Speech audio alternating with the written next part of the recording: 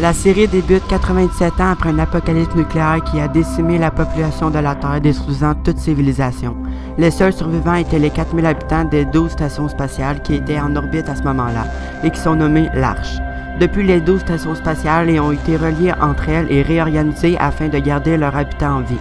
Trois générations se sont ensuite succédées dans l'espace et on compte désormais 2237 survivants. Mais les ressources s'épuisent sur leur arche mourante.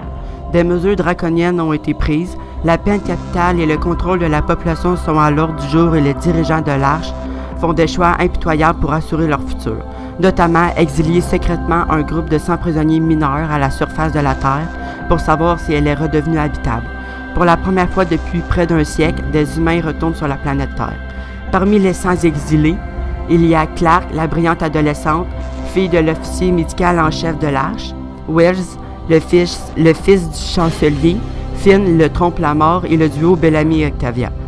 Que la fraternité a toujours poussé à enfreindre les règles, privé de communication avec la Terre, le dirigeant de l'Arche, la mère de Clark, Abby, le chancelier Jaha et son, nom, et son sombre commandant en second, Kate, doivent prendre des décisions difficiles au sujet de la vie, de la mort et de la survie de l'espèce humaine.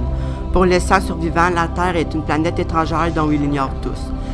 C'est un royaume mystérieux qui peut être magique un, instant et mortel l'instant suivant. La survie de l'espèce humaine repose sur les sangs. Ils doivent parvenir à transcender leurs différences afin de survivre.